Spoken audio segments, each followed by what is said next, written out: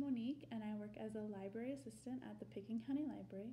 And I'm just going to tell you a little bit about what I've been reading lately. I've been really into books about the West, especially our public lands and our rivers.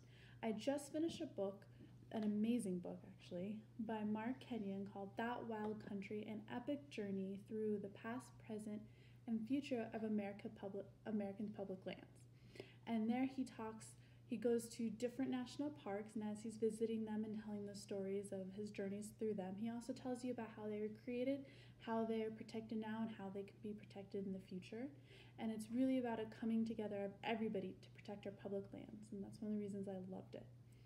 And to continue my journey, I am now reading Downriver Into the Future of Water in the West by Heather Hens- Hansman. And this one, she travels down the Green River and talks about different ways people are using the water and the complications that come with having only a limited amount of water for everyone.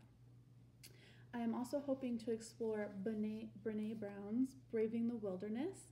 It was a gift from my friend, so I'm excited to pick this one up and then talk about it with her. And finally, to keep a little bit of humor in my life, I read comic strips from this book, Strange Planet, by Nathan W. Pyle. And it's an amazing book with all these fun little comics that I like to read in between sessions of the books I'm reading. And I hope you can pick up one of these books, check them out on our online resources. Thank you for listening.